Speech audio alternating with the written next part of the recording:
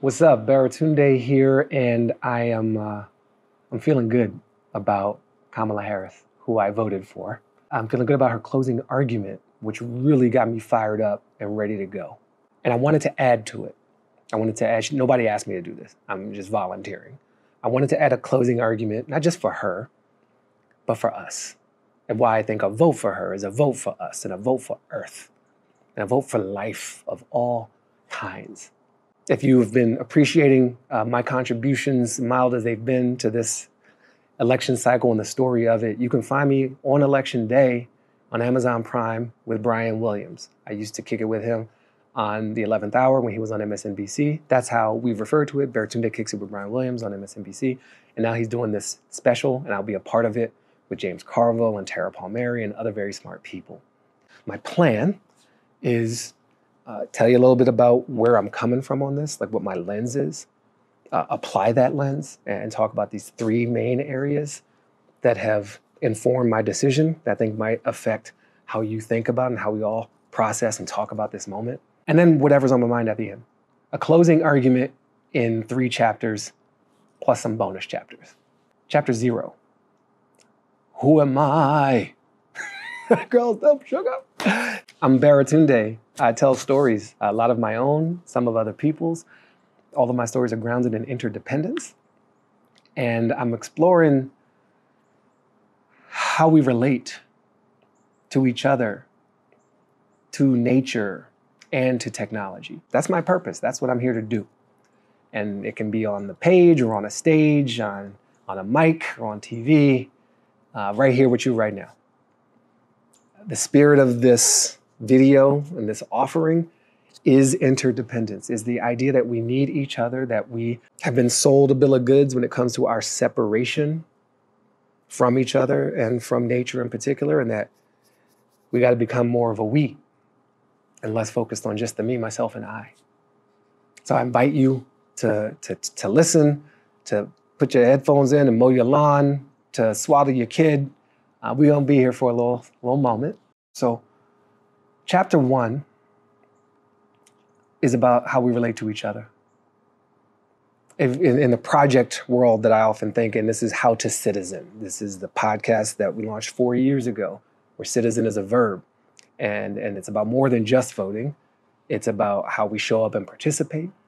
It's about how we commit to the collective and not just our individual selves. It's about how we understand power. It's about investing in relationships with each other, with ourselves, with the planet. So, with that hat on, with the How to Citizen hat on, democracy is a practice.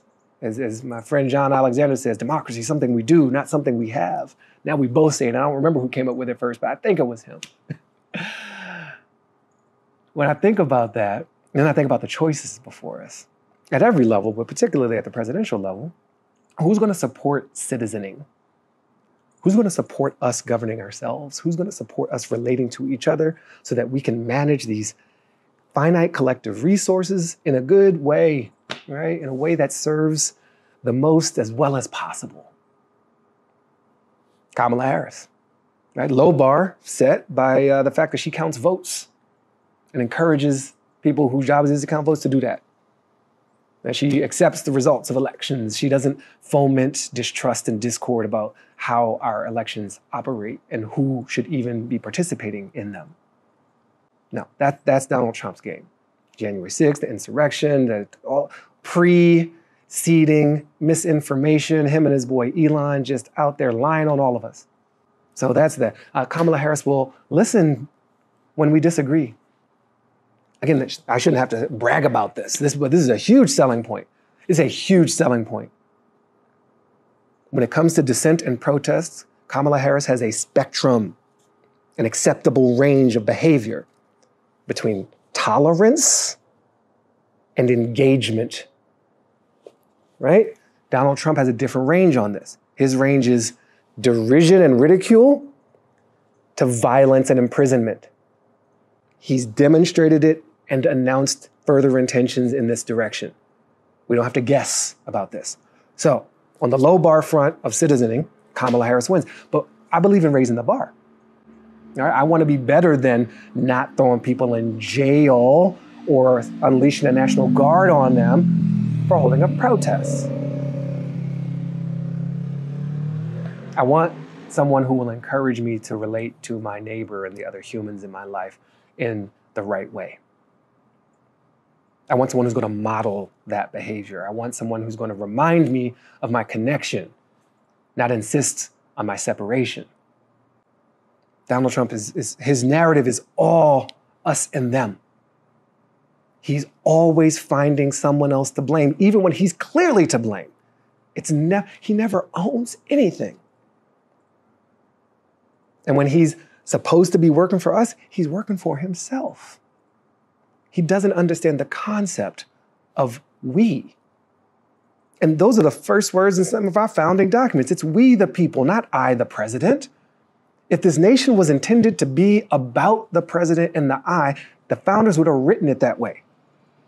It's about we. And to put it bluntly, metaphorically, and probably actually, Kamala Harris has a bigger we than Donald Trump. She includes more people, he excludes them. He's picking on a Haitian this week and a Puerto Rican the next week, and someone who's that willing to that quickly kick someone out and put them in the other group. He's gonna put you in that group soon enough. His we is too small. And we pay the price for that because there's so many of us who not a part of his we. And we need someone who is going to be much more inclusive about who we are and how we expand that in a healthy way, in a just way, in a moral way. That is hands down Kamala Harris. Donald Trump only knows first person singular. We need first person plural. That's Harris.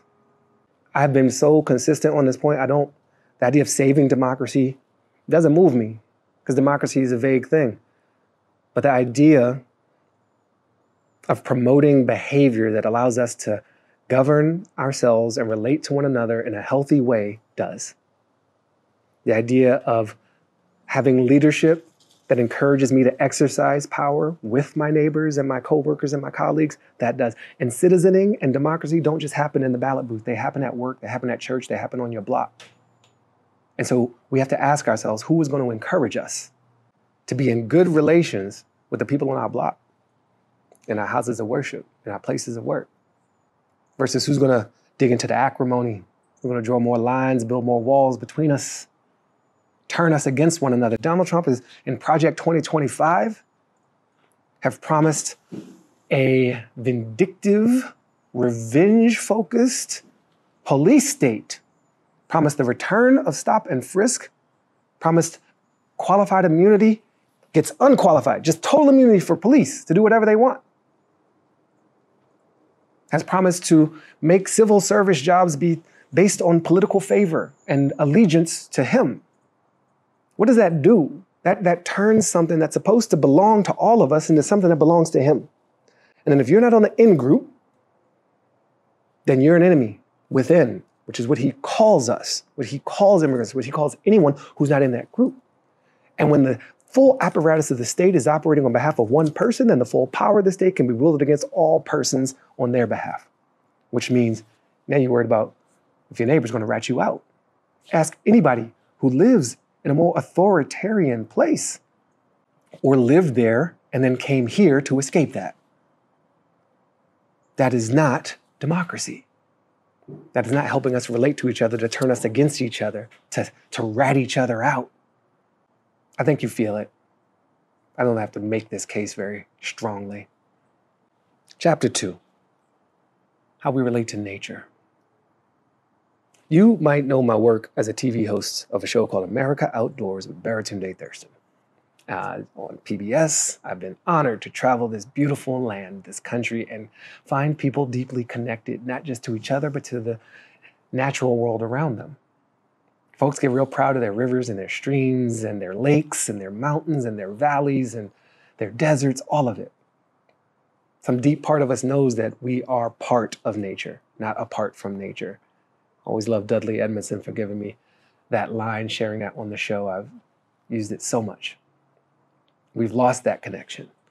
And so I'm asking who is going to help us restore our connection to the natural world? Donald Trump or Kamala Harris? I mean, when it comes to just the matter of climate change, uh, pretty clear. Trump doesn't believe it exists and is not willing to do much, if anything, to battle it. In fact, he would just encourage it. He wants to engage in more activities, remove more rules that make the effects of climate change happen faster. That's insane.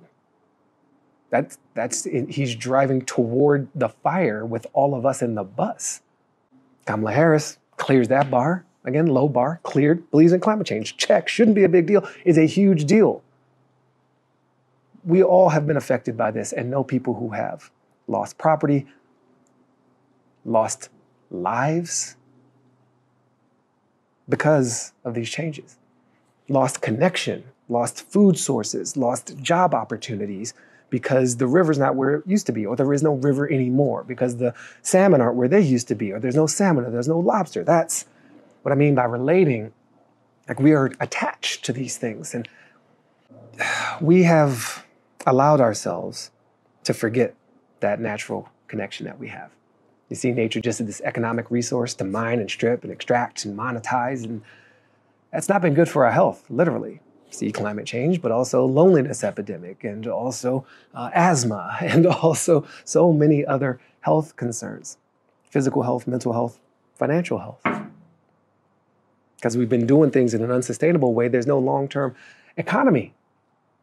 And if you're annoyed by rules and regulations on climate stuff, imagine how much more expensive everything is when everything's burning or flooded at the same time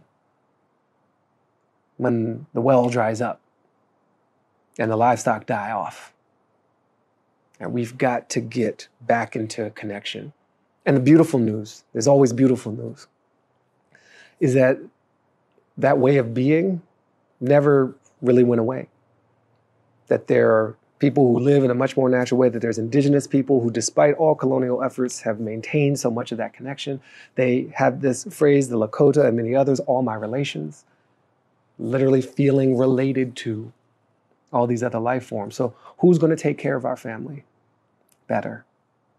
Who's going to improve on our relationship with nature, Trump or Harris? It's going to be Harris. She has a climate justice plan. She has, uh, with Biden, expanded more protected areas, made the largest investment, the uh, Inflation Reduction Act, in, in climate solutions than anyone ever right? Globally unprecedented, but also marine protected areas. I mean, there's just, and, and the economic opportunity that comes from that. Here's the thing this is what I've seen with my own eyes. It's not just like people want to protect trees so humans have nothing to do with it. There's money there. There's money in them, their trees, if we let them live. Because they will clean this air for us, and then we'll have to run so many filters, because they will encourage a level of biodiversity which makes our food healthier, which makes our air healthier, which makes our mentally healthier, which means I have to go to the doctors and take so many damn drugs.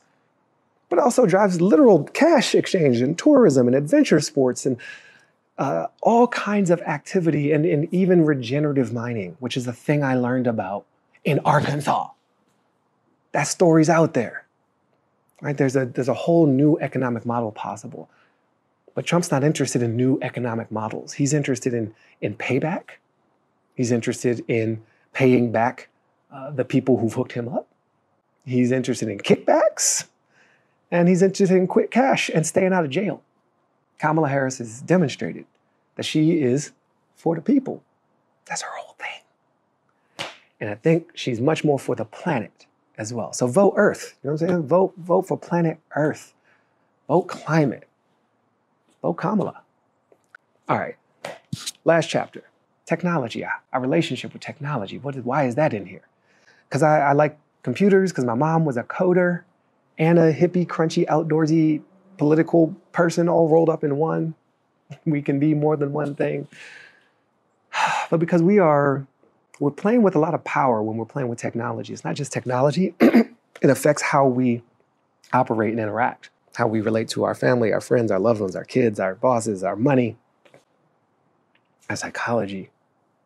And social media has taught us what it means to let this power move through our society with no rules, really, no oversight, no controls, no input. from we the people. We can't do that again. And Donald Trump doesn't care about regulating these things. He was he was for TikTok he was against TikTok and he's for TikTok only in so much as it affects him personally because his we is too small. But Harris, I mean, we see how she takes the power in them Senate hearings. When she was a senator, she has helped oversee and push forward types of rules and legislation around social media for these kids today, gun violence as well, getting some of the first things passed there in the Biden administration. But there's more. AI is going to do more. I have this new show, Life with Machines, and we're exploring the human side of what AI means. You should check that out. And I had a recent conversation with Verity Harding, uh, who worked in government, then worked at Google DeepMind developing these models early on. But she was there to help them think about governance and how this fits into society or doesn't. And we need more of those types of thinkers and participants. We need more of us involved. And Harris will support that. You know that Kamala Harris was so instrumental in helping create the AI Bill of Rights that came out of the Biden White House, the executive order that came out of the White House. Those things aren't the whole answer, but they are part of the process we need to get to, which is to engage with all of us because we're all experts in our own lives and our lives are being affected by this stuff. Trump don't care. Trump wants to rip rules off of everything. He doesn't adhere to any rules himself.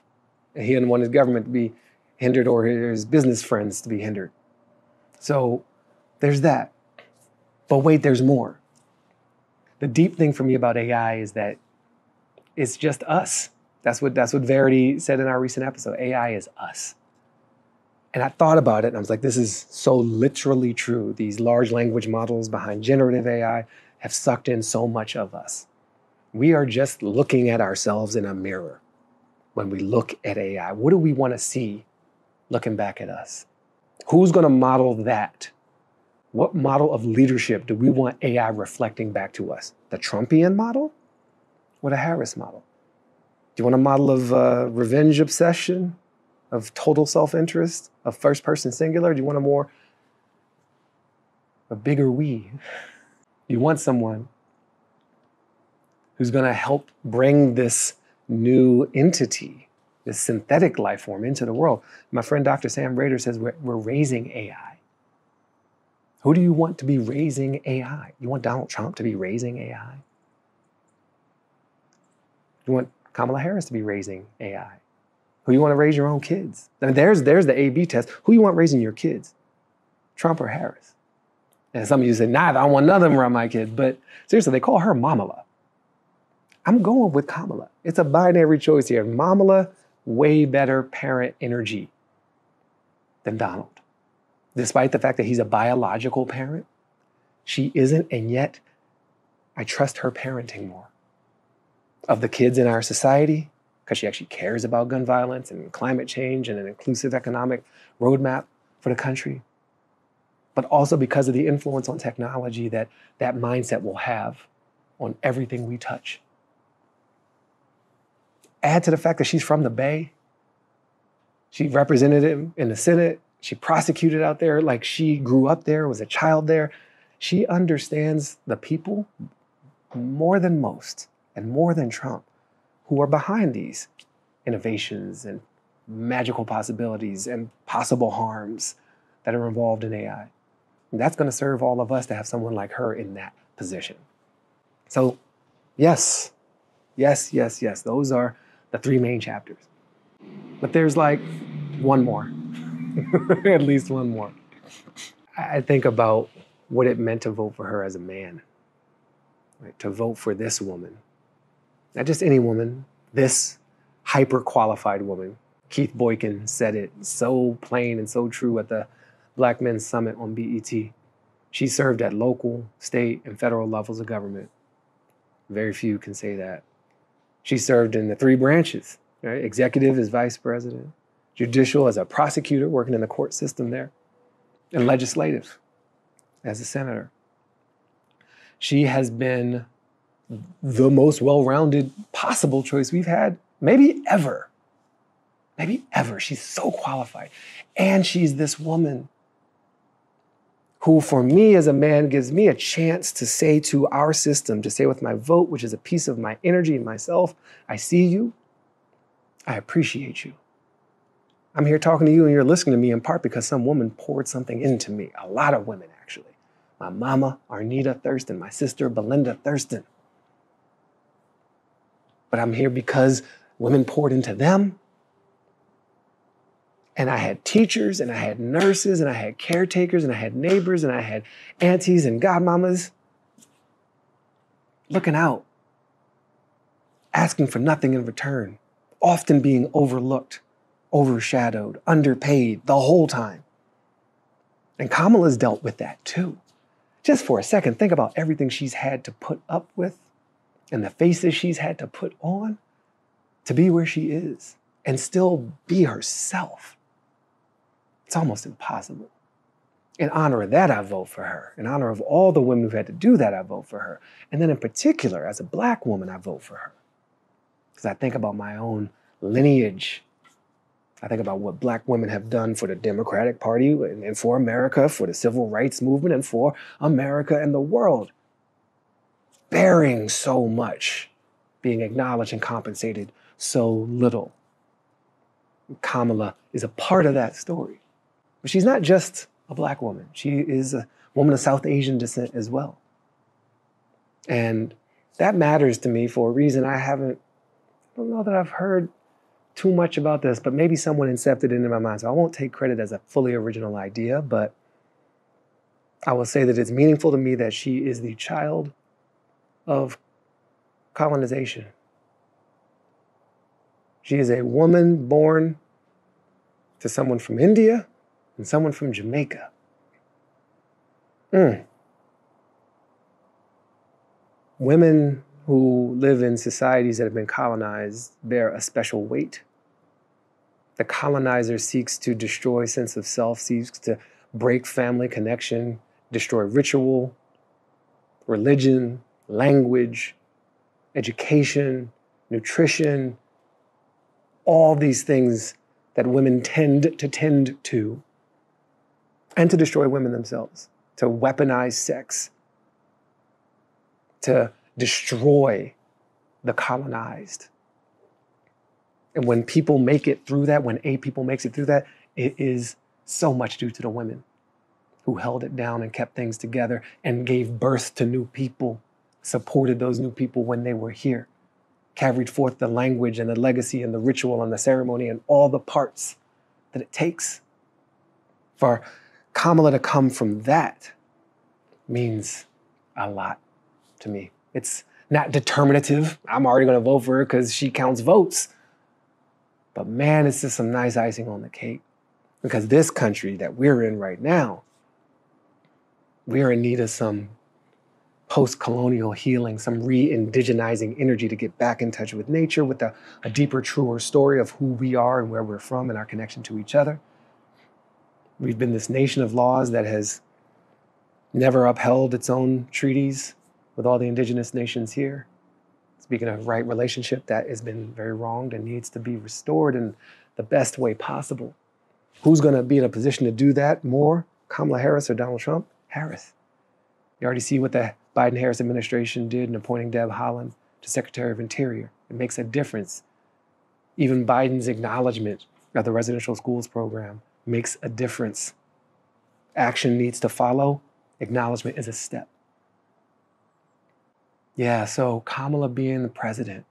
And then I just, I get out of analysis mode. I'm just like, this will be better. This will feel better. Not everyone's going to be happy, but there's, there's misery and miserableness awaiting so many more with Trump because that's what he does. He, he enjoys that. He feeds off of that. He loves the chaos. I don't. That's not what we need. The deep truth is, regardless of who wins, we are going to end up in the better place. There is a new story emerging, and we will get there. The question is how long and how much suffering. How long and how much suffering? You want to take the express route? You want to go on some detour through the 1950s and the 1930s to get to your future. I say let's just go straight. We don't got time to monkey around. The earth get a little fed up with us. We don't have time to add years on climate change. our democracy crisis and our frame. I don't have time to be so at odds with you and vice versa. We need to get about the mending and the healing and the relating. This AI, it's not going to wait. It's not going to wait. It's going to exploit us if we have an exploitive leader modeling that behavior for us. So that's it. That's what I got. It's 27 minutes. Good Lord. I don't even know if this file will, will upload. but I thank you if you made it this far. I wish I could offer you a bonus. Yeah, I'll see you before, during, and after. There's always an after. We will count these votes. We will play out this process. We will live. We will find each other. We will find the best in each other. See the light in each other. Don't obsess over the fear and the what ifs and the oh my gosh. There's a lot of oh my gosh. But there's us. I hope this has been helpful.